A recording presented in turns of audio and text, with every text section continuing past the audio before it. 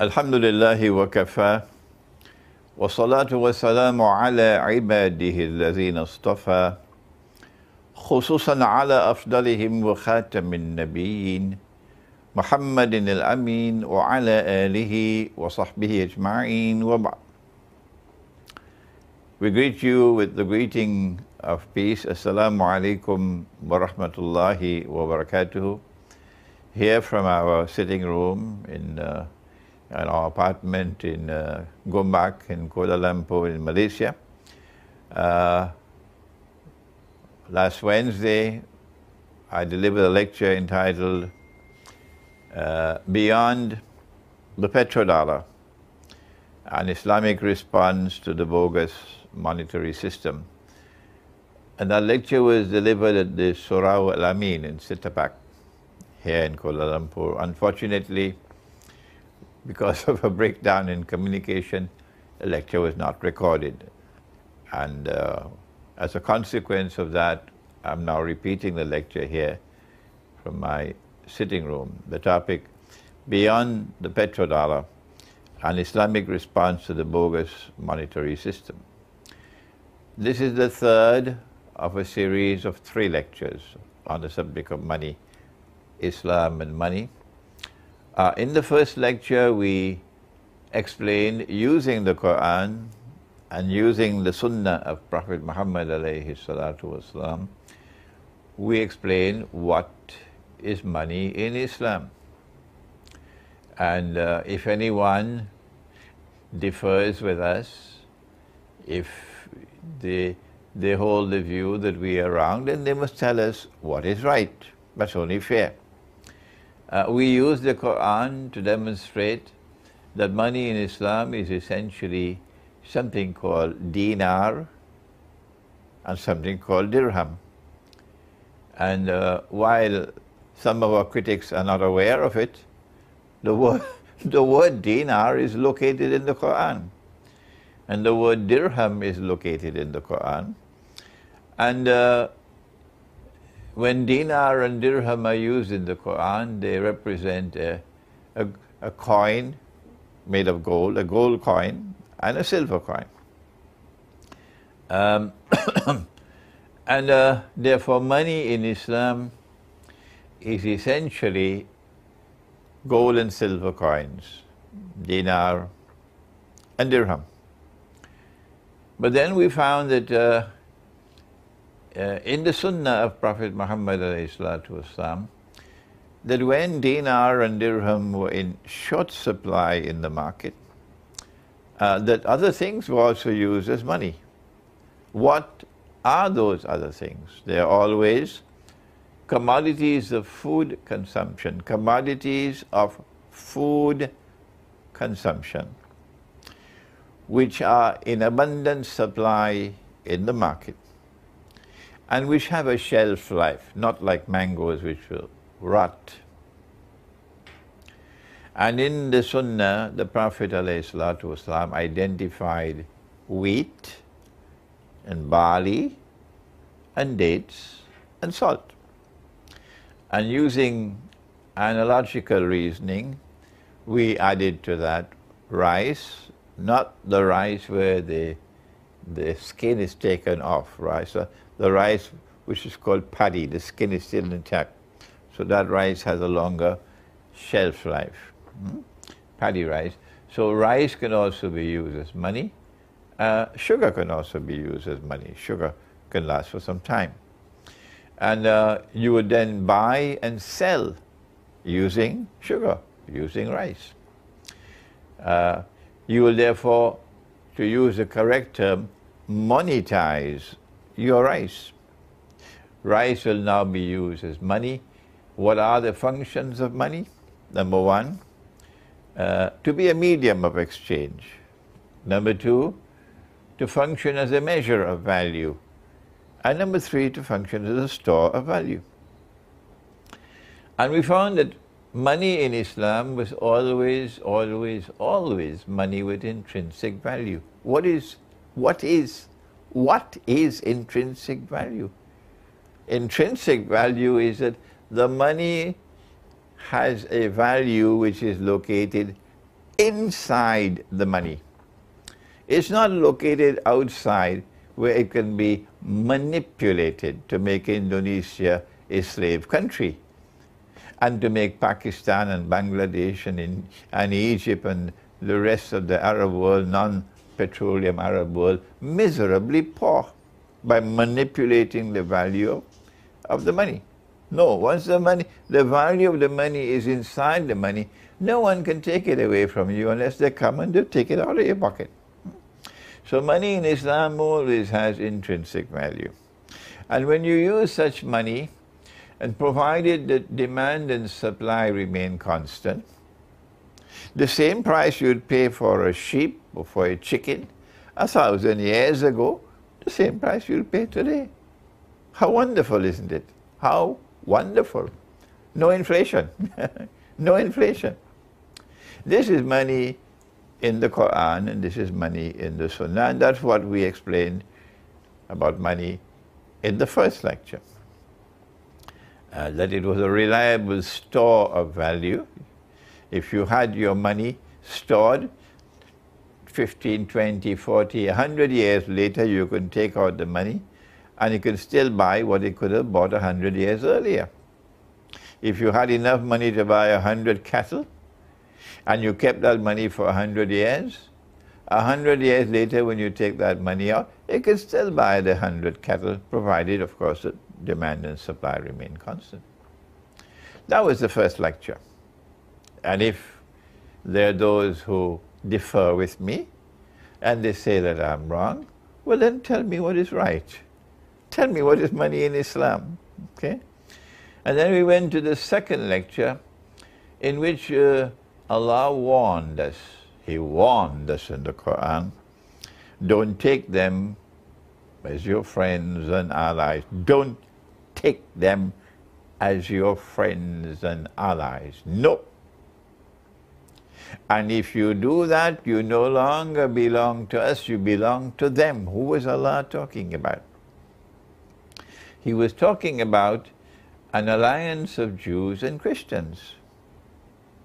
يا بسم الله الرحمن الرحيم أعوذ بالله من الشيطان الرجيم يا أيها الذين آمنوا O you who have faith in Allah لا تتخذوا اليهود والنصارى أولياء Don't take them as your friends and allies who بعضهم أولياء بعض An alliance of Jews and Christians. When that Jewish-Christian alliance emerges, do not turn to them with friendship and alliance. Whosoever from amongst you turn to them with friendship and alliance, you belong to them. In Allah la yahdil They are a wicked people. And Allah does not provide guidance for a wicked people.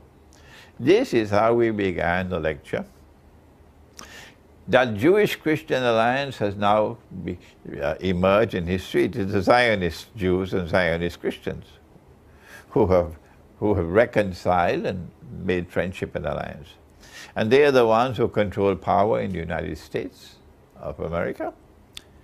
They control, and they boast of it, we control the United States. They control Britain, the power in Britain, they control power in France. They control power in the Western world, what is called Western civilization. They are the ones who have NATO as their military arm. And they are the ones who have a messianic, a mysterious messianic agenda. They want to rule the world. They want to establish the political dominion the economic dominion, the monetary dominion over all of mankind. That's what they want to do. That's arrogance. But not all Christians are like that. And not all Jews are like that. No. these, these are the Christians and the Jews of modern Western civilization. Uh, Russia is not a part of Western civilization, no. And Allah warns us in the Quran, don't take them as your friends and allies. Don't enter into their embrace. And that is precisely what happened. This is the people, this is the civilization which were empowered by a scientific and technological revolution. And they applied that scientific and technological revolution to military science, and they gained a military power unique in all of human history, and they used that military power to oppress at the point of a naked, bloody sword. They went to conquer the world. What is Britain doing in Britain? A little island called Britain. What is Britain doing controlling the whole of India? Tell me. Huh? And Britain is in China, and Britain is here, and Britain, the sun never sets on the British Empire. Why? Why this mysterious colonization of the world? Answer, they want to rule the whole world. And one of the strategies which they employ to establish their dominion over mankind is to change the money to remove the money that Allah has ordained, dinar and dirham, to prohibit the use of gold as money, which is shirk. Are you hearing me? Did you hear what I say? It is shirk. It is blasphemy. Every Christian knows the meaning of blasphemy. Every Jew knows the meaning of blasphemy when a Muslim uses the term blasphemy. It is shirk to prohibit what Allah has permitted. And Allah has permitted gold as money, and they prohibit the use of gold as money. That's what they did in the International Monetary Fund, the Articles of Agreement, prohibit the use of gold as money. So you can't use a dinar as money anymore. And by implication, since you can't use dinar, you can't use dirham. This is blasphemy. And whosoever follows them in that shirk also become party to the shirk. This is the monetary system which they created. And we, the second lecture, explained that monetary system based on shirk. Based on shirk. And they use that monetary system with, with indescribable hatred and animosity and hostility for Muslims. That's what they are. And use that monetary system to exploit, to rip off, and to oppress, and finally to enslave people. And so today we find a world of Islam, and also the rest of mankind who are not supporting them, miserably poor. Miserably poor, enslaved. And uh, it's because you take paper and you give to that paper uh, a fictitious value, no intrinsic value. And that fictitious value is such that when they print the paper, it's called hard currency. And once their paper is in demand, they can give a high value to it and they can print as much as they want. And so they could buy the whole world free of charge. You could buy the whole world free of charge once the donkeys are demanding the paper. And then when we Muslims also want to join in the fun of blasphemy, and we also abandon, surrender the dinar and dirham, and we also start to print paper. But our paper is not hard currency, no. So our paper can't be used.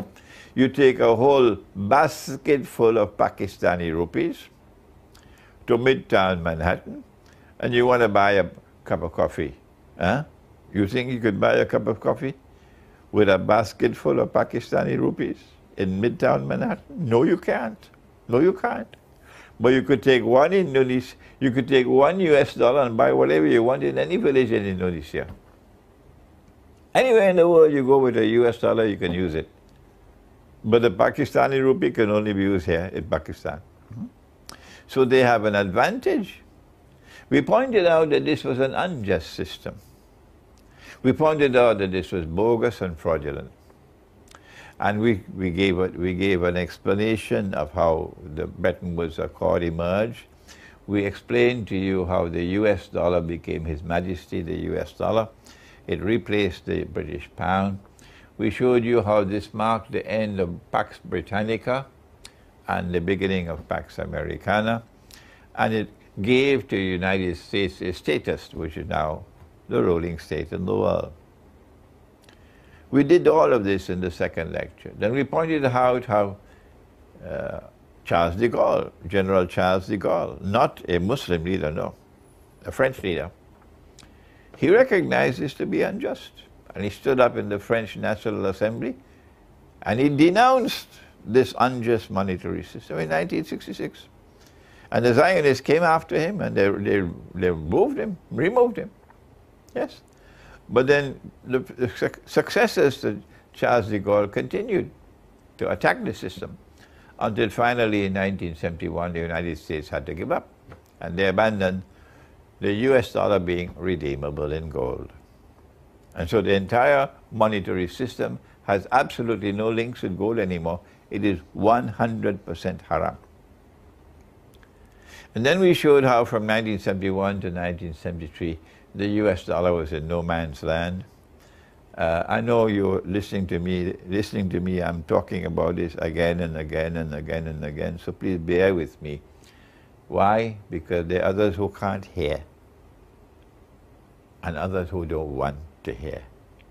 So we have to repeat again and again and again and again. If you're fed up of listening to me, go listen to somebody else. But I have to keep on repeating for those who, do, who cannot hear and for those who don't want to hear. They're afraid to hear.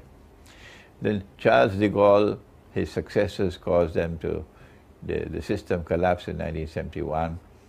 Then 1971 to 1973, the US dollar was in no man's land. And then in 1974, because of the Arab-Israeli war, they hit the jackpot with the birth of the petrodollar. I explained this in the last lecture, that the US dollar is now His Majesty the petrodollar. And that this petrodollar was prophesied by Nabi Muhammad wasalam in a hadith that we'll quote shortly. When the Arabs decided, agreed with Henry Kissinger to his demand that we sell oil for only USD, which is haram. But they didn't understand what is haram. Then the petrodollar was born. And there was no limit now to the amount of petrodollars you could print. You could print as much as you want. There's no Charles de Gaulle to stop you anymore. No one can raise a finger because the system has no links whatsoever with gold. The link is now with oil thanks to the Arabs. The petrodollar is born. And then we showed how they use this system, monetary system, to consolidate their power. To be able to use this newfound wealth, which is of course fictitious wealth, uh, to, to, to empower the banking system now to eventually take over. They want the money to expand and expand and expand and expand, and if it's not expanding at a fast enough rate, then they, they, um, they, uh, they, they use a new system, I just can't remember what it is now, it's called, um, to just put seven, seven trillion dollars to the bank. Um, I can't remember the word now. And uh, the seven trillion, when it goes with a check from the, the, the office of the President of the United States to the Federal Reserve, and the Federal Reserve then issues a check to the banking system for seven trillion dollars. That's not money as yet. No, it's just a check. But when the banking system now lends that money to Pakistan, or to a fellow called Mursi in Egypt, who said he was Muslim and he said his, oh, his organization, Ikhwan al-Muslimun, was a great Islamic movement, but you're still ready to borrow money from the IMF. Hmm. It is when you sign the agreement to borrow that money and you agree to repay it, only then it became money. Yes, then it became money. So the banks now have unlimited money to lend, unlimited amount of money to lend. And I used the balloon in my last lecture to show that the balloon is expanding. The monetary supply, the money supply is constantly, constantly expanding.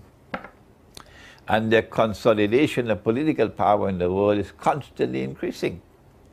Constantly increasing to the extent that they could even try to attack Russia. with monetary and economic sanctions. And then I found, I, I explained to you in the last lecture, that all of this is meant to eventually cause the balloon to bust. Because the United States is not meant to rule forever.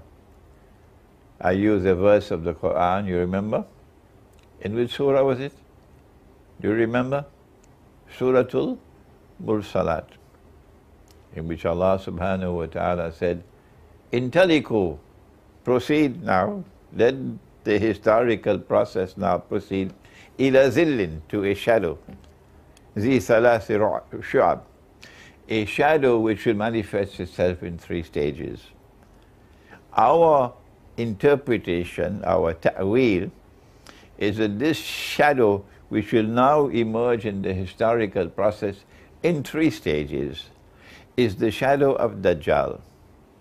The first stage is Pax Britannica. The shadow comes in the second stage, Pax Americana. And then in the third stage and last stage of the shadow, the world will experience an attempt by the state of Israel to rule the world in what they would call Pax Judaica. When will the balloon burst? When the balloon bursts, not only will the US dollar collapse, but Brexit means that the euro will also collapse. That's why you had Brexit. So the entire world of paper money will collapse. No, no single money in the world will be able to survive. The Malaysian ringgit cannot, cannot, cannot survive independently. No. the Pakistani rupee cannot survive. The Egyptian pound cannot survive. The Indonesian rupiah cannot survive. None, none, none can survive because they're all interdependent. So when the US dollar collapses, when the balloon bursts, one day it'll have to burst. It cannot expand indefinitely. The entire system will collapse.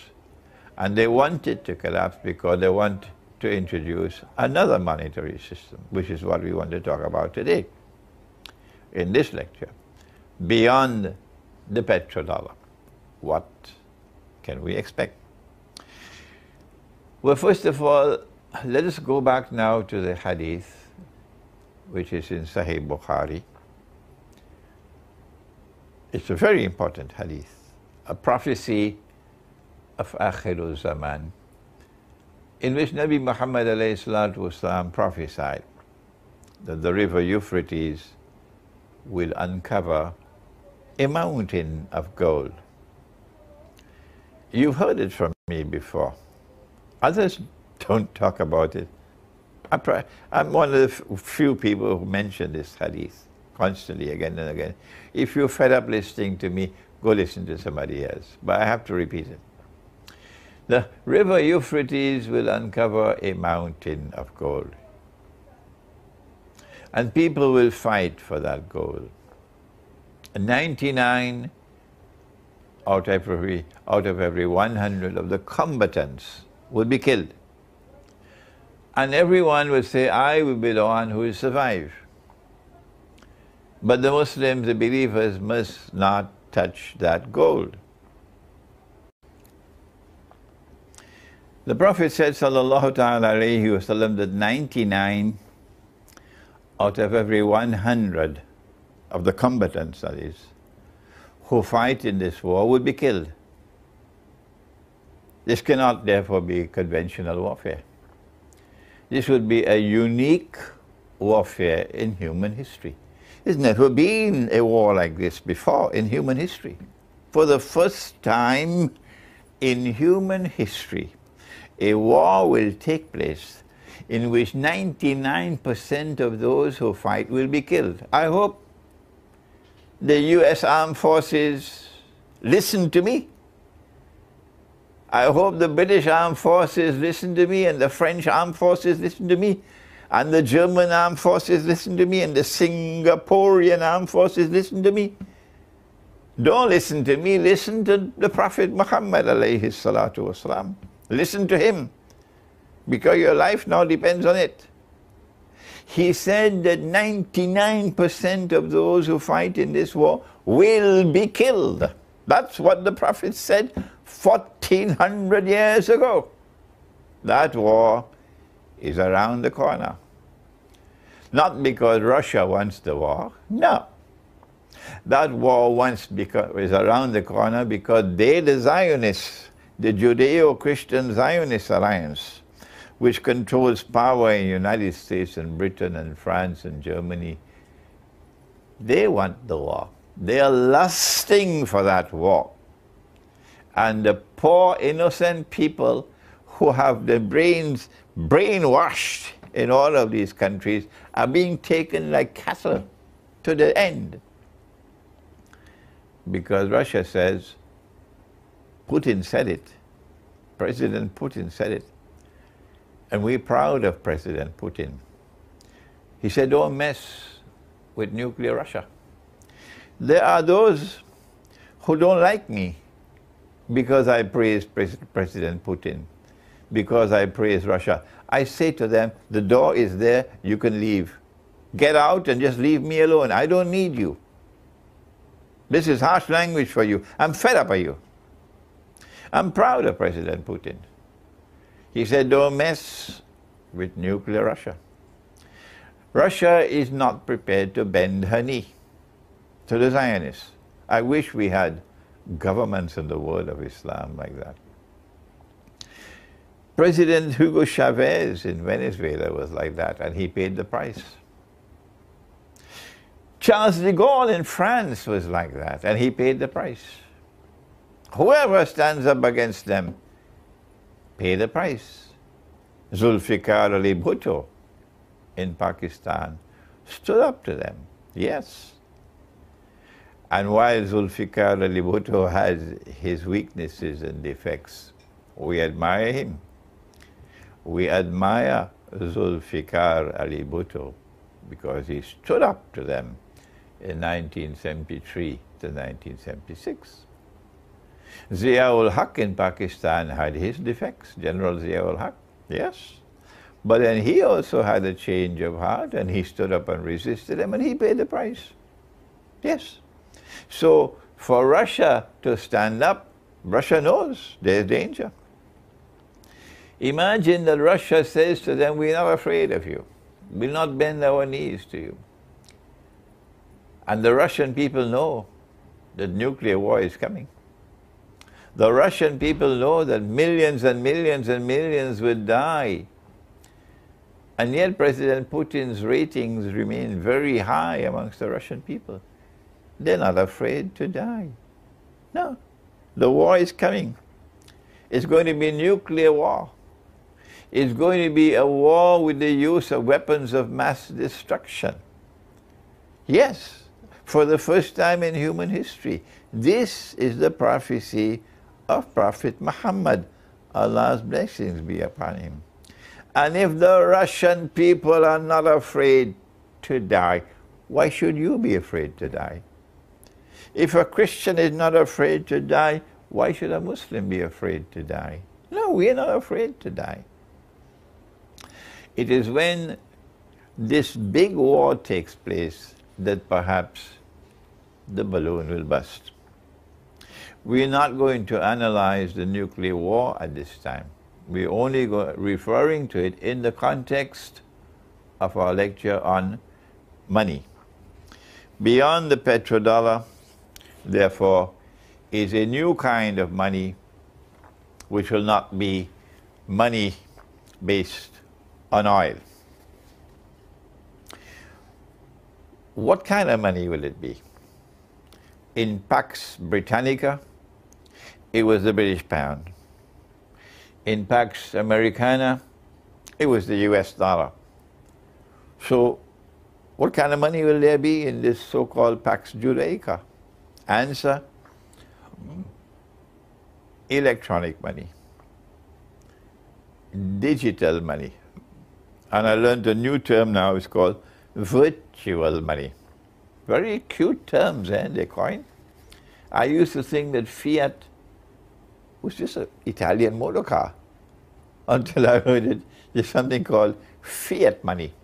I don't know where they get these terms from, where they pick it up, like Arab Spring. Hmm? So it's now going to be virtual money. Money that is invisible. You can't see it, you can't feel it, you can't touch it. No. Electronic money. And we will no longer have a multiplicity of currencies in the world. No, the idea is to get all of mankind under one government, one world government, so that one people can rule the world, and they can then transfer that power to the state of Israel, so that Israel become the ruling state in the world in succession to the United States. This is our eschatological explanation of the historical process. And then at the end of the day, someone will stand up in Israel and declare, I am the Messiah. I have been explaining this for 14, 15 years, 16 years now in my book, Jerusalem in the Quran. Those who have read the book, of course, they know all of this eschatology. But there are those who don't want to read or who are afraid to read. But I have a question. I can't understand how in a post-nuclear world, when thousands of nuclear weapons have exploded, when there have been days without any sunlight, when most of mankind have perished, and there's a rump of mankind still surviving, how will Israel, how will the banking system survive? And how will you be able to use electronic money? And then someone came from Saudi Arabia and met with me and explained to me, he says, what will, what will perish would be wireless communication, electronic money that is conveyed through the wireless system. But when it is conveyed through cables, underground cables, that will still survive. So the internet will not collapse, no. Only that part of the internet will survive, which is protected, which is conveyed through cables and fiber optics and so on. And I understood now, now I understand, how is it possible in a post-nuclear world for an electronic monetary system to uh, replace uh, the petrodollar. That will be, of course, a financial Guantanamo, a monetary Guantanamo, because you can't take your money out of the banking system. No. All you can do is transfer from one account to another.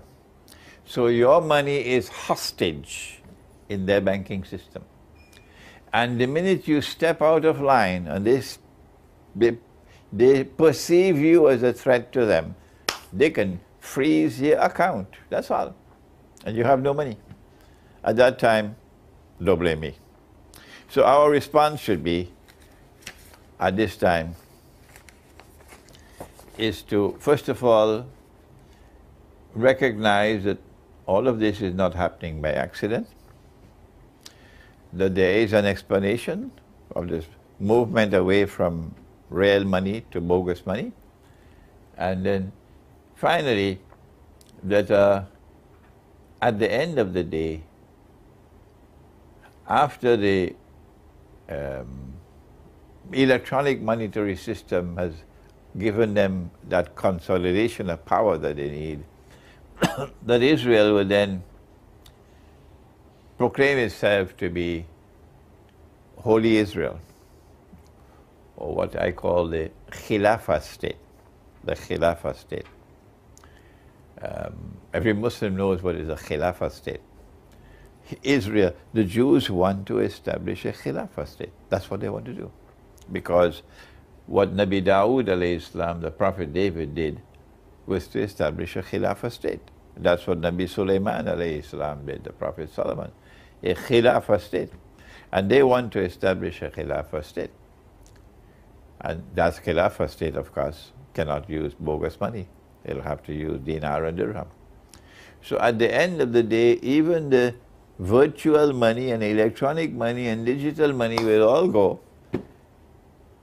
and dinar and dirham will retain as money. I hope I am alive for that day because the shame and the embarrassment will be too great for me.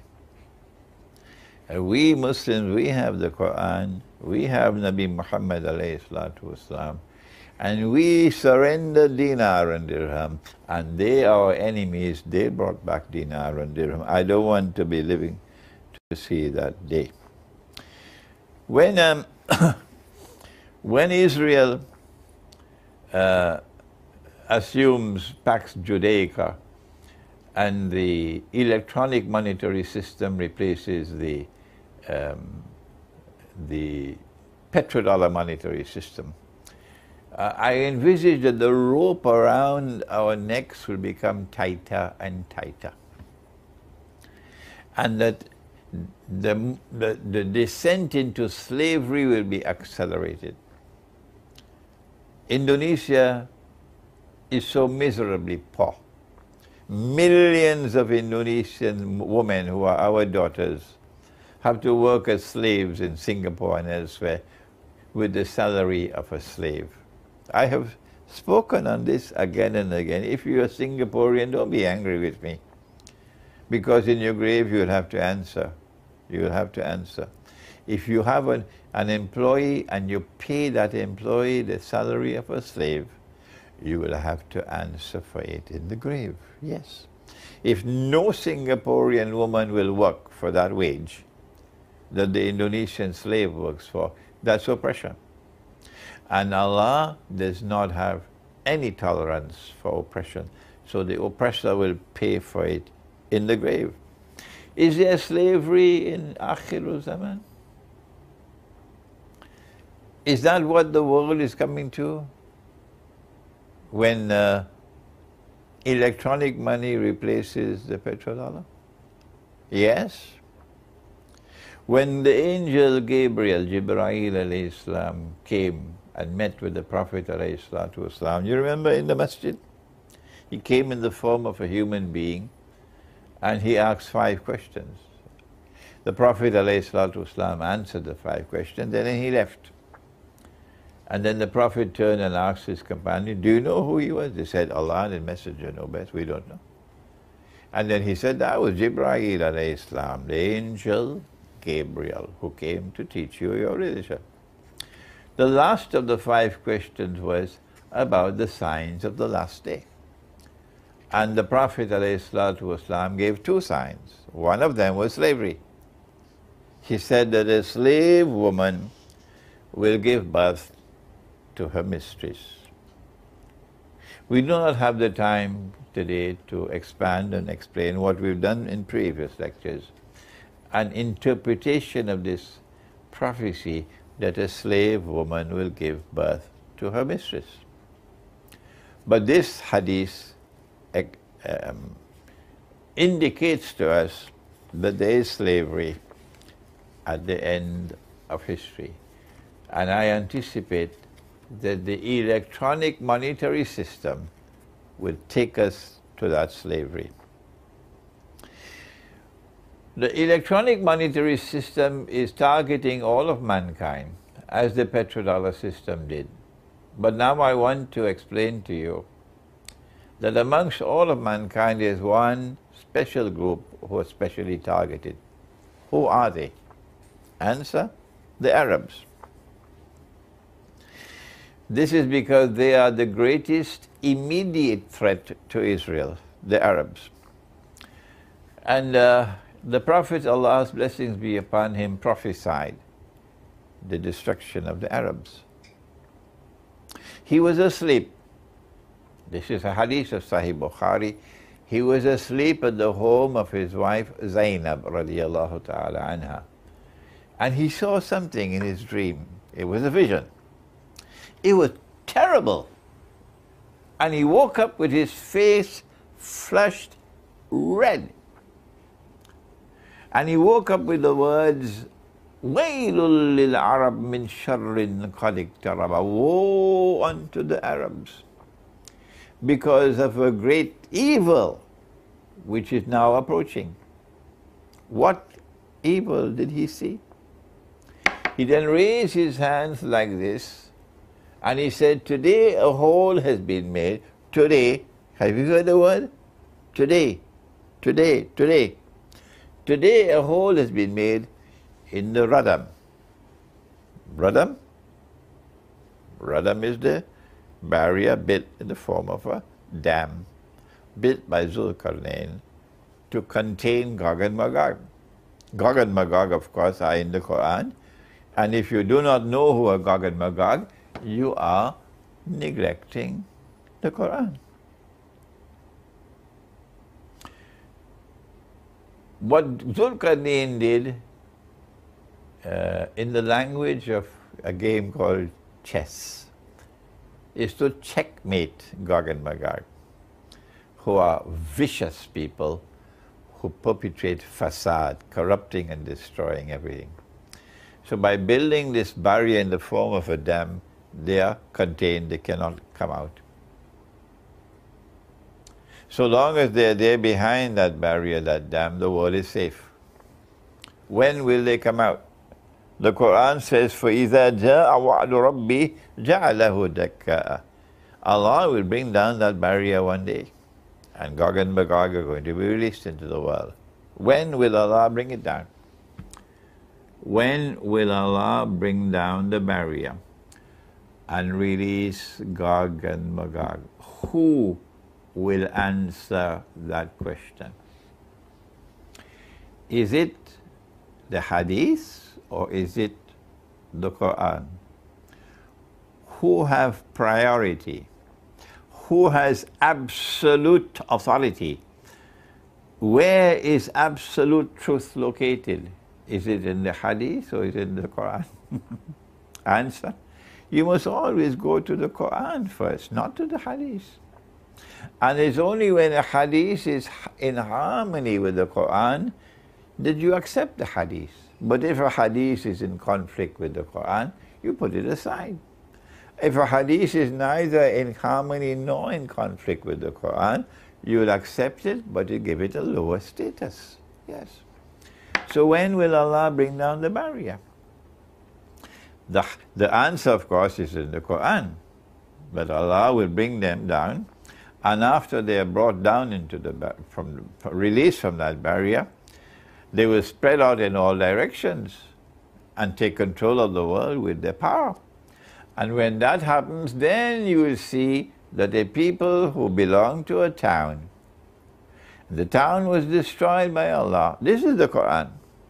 And they were expelled from the town. That you see those people being brought back to that town. Gog and Magog will bring them back. This is the Quran in Surah Al-Anbiya. We're not going to Hadith, we're going to Quran. And which town is it? The town is Jerusalem. If it's not, then tell me who it is. So the Prophet ﷺ now has a vision. And in that vision, he sees that Gog and Magog are released. Or that the release has commenced. It'll take a long time before they spread out and take control of the world. It'll take a long time before the Jews are brought back to the Holy Land brought back to take control of Jerusalem, brought back to restore a state of Israel in the Holy Land, brought back so that Israel could now try to become the ruling state in the world. It'll take a long, long time. But when were they released? When? He says, it was in his lifetime that the release took place, that the barrier was brought down. In his lifetime. Today, he said, today, he said, Allah has made a hole in the barrier. Gog and Magog will now be released. And this is bad news for the Arabs in particular. So the monetary system is only part of the overall attack on the Arabs. But this part of the attack on the Arabs is meant to enslave them. So when he said, وَيْلٌ لِلْعَرَبِ مِنْ شَرٍ قَدْ اقْتَرَبَ Woe unto the Arabs because of a great evil which is now approaching them. She asked, this is Zainab radiallahu ta'ala, أَنُهْلَكُ وَفِينَا الصَّالِحُونَ Will we be destroyed, we Arabs, would we be destroyed even though there are righteous people amongst us, even though there are righteous people amongst us? He said, Naam. Naam. The Arabs are going to be destroyed, even though there are righteous people amongst them.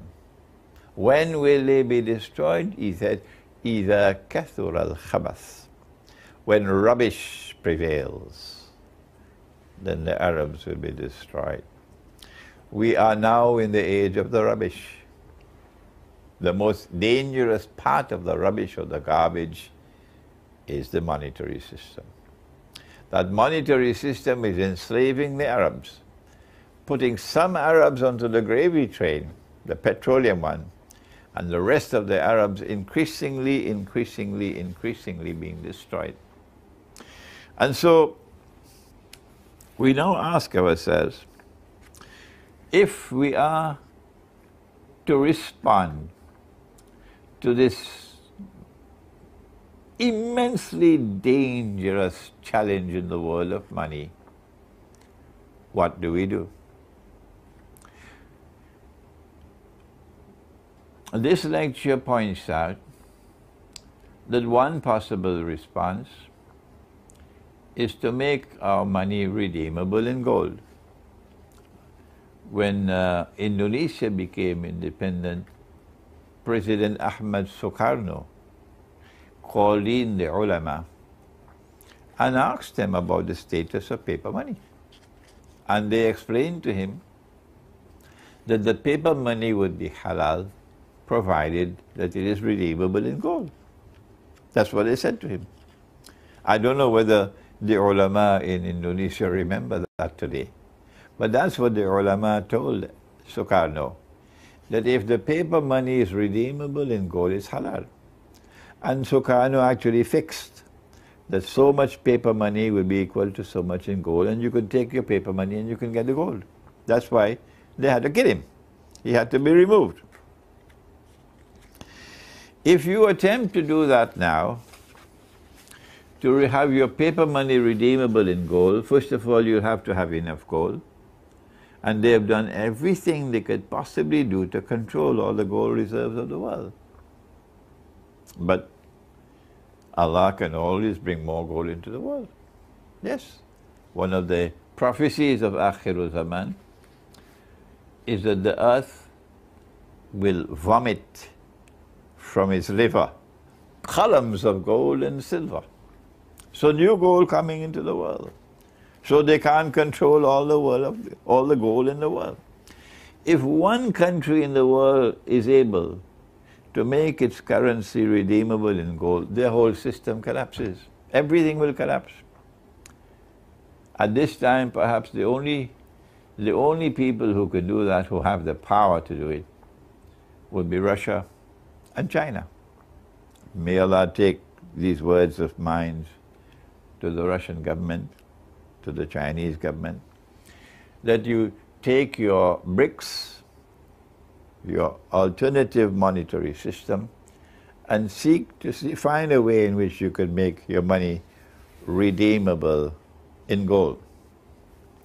The second response that we have to share with you is that which we have said again and again and again and again that in the Sunnah you can monetize commodities of food consumption like rice and use rice as money.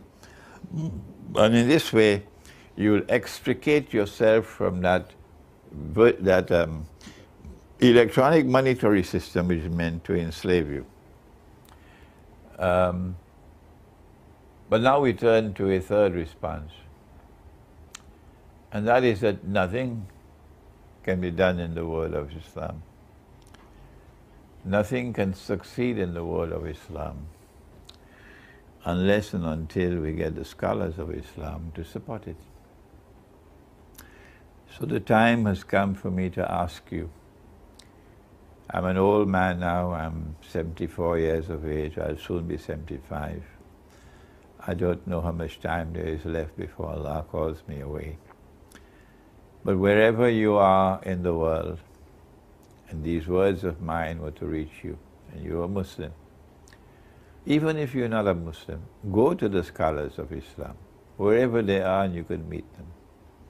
and ask them, this money that we're now using, we don't see this money in the Quran, we don't see it in the Sunnah. It's new, it's never been used before.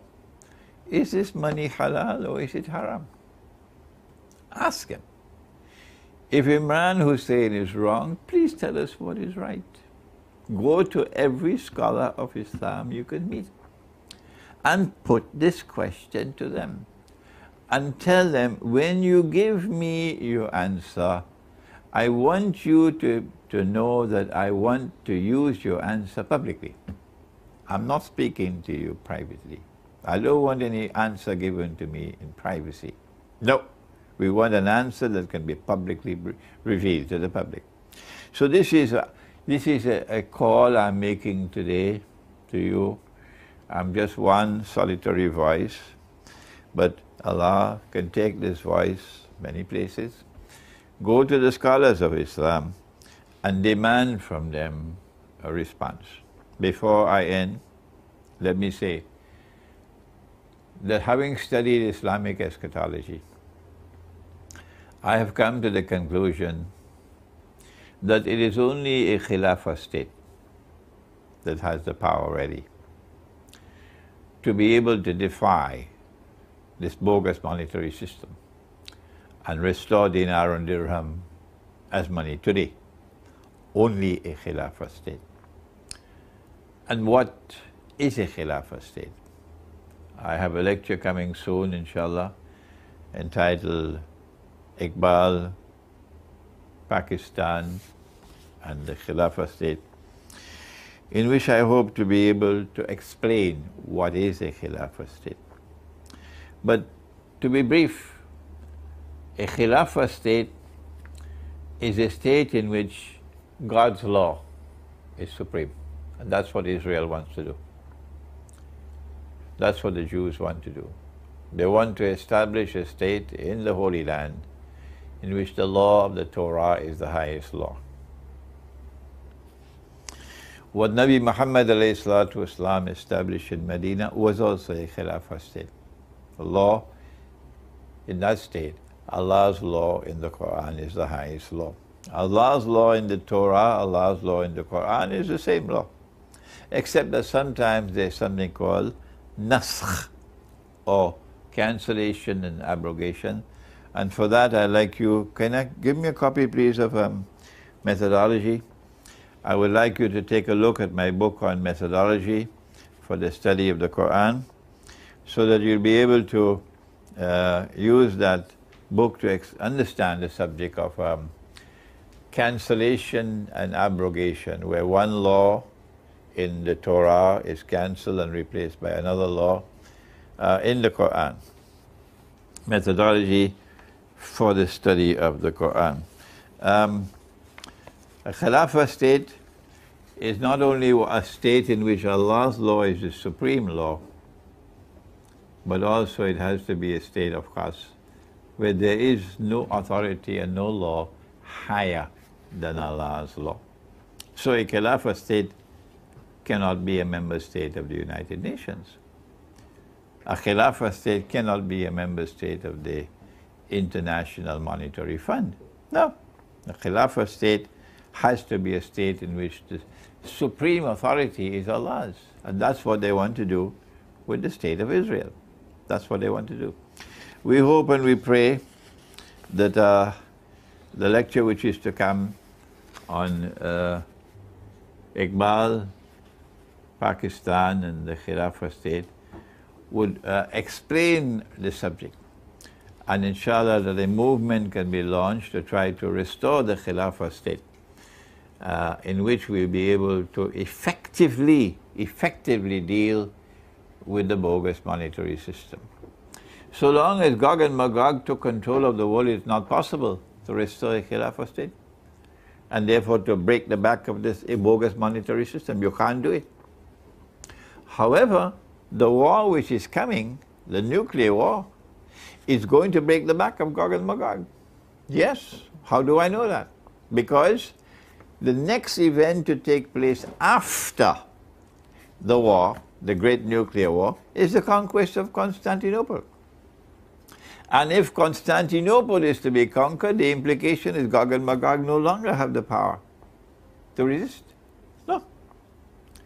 As a consequence, I've come to the conclusion that it is possible for us, as never before the last few hundred years, it is possible for the last 100 years, it is possible for us to now restore the Khilafah state. An effort can be made to restore the Khilafah state in the wake of the nuclear war which is coming. I pray that Allah subhanahu wa ta'ala may take these words of mine to those of you around the world who agree with me that this is a bogus monetary system and we ought to respond to it authentically. Thank you. Wassalamu alaikum wa rahmatullahi wa barakatuh.